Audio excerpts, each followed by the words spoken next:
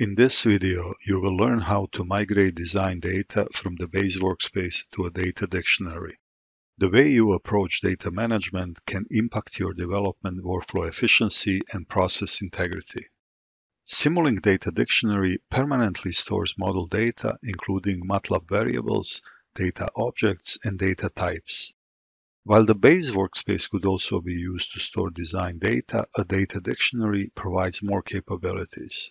You can track changes, control access, partition or share data, and use more advanced collaboration and componentization workflows.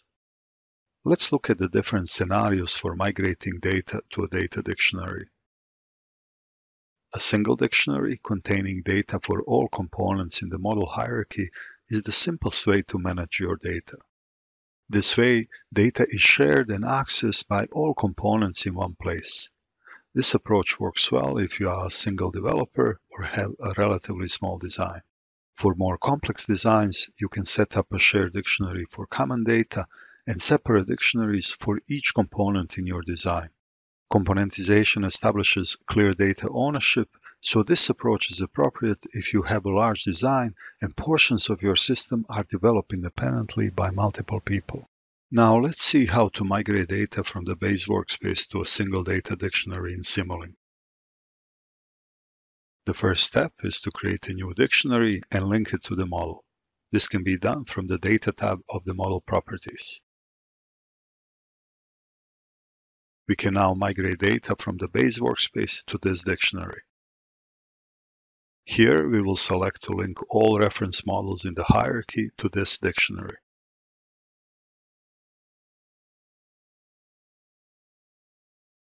If you are migrating only a subset of your design data, you can also select this option to enable your model to access data from the base workspace and data dictionary at the same time. This is helpful for incremental migration to data dictionaries. If you use any callbacks to load data, you can remove them now. At this time, you can also confirm that the models work correctly. Now let's look at how to migrate data from the base workspace to a set of componentized data dictionaries. A common dictionary will store data for multiple or all components. Such data can be company or project-wide parameters, physics constants, etc. Usually setting up a common data dictionary is a one-time operation for your organization, and then the dictionary can be used across all projects. In addition, each component will have its own data dictionary. Let's see how we can do this in Simulink. From the Model Explorer, create a common data dictionary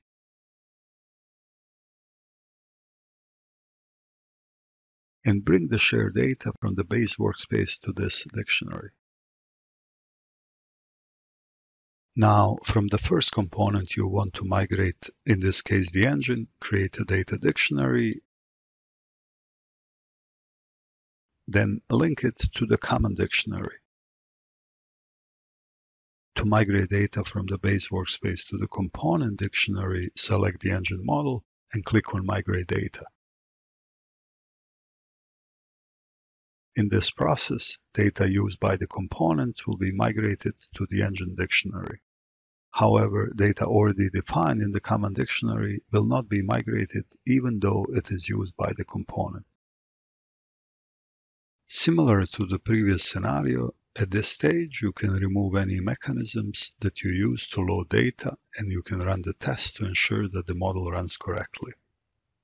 To complete migration, repeat the same process for the remaining components, that is transmission and vehicle.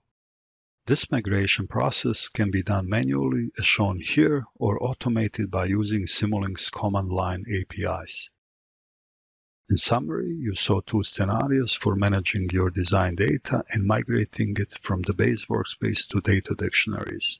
To support your development workflow efficiency, consider team size, design complexity, and the need for independent development when choosing a data management approach.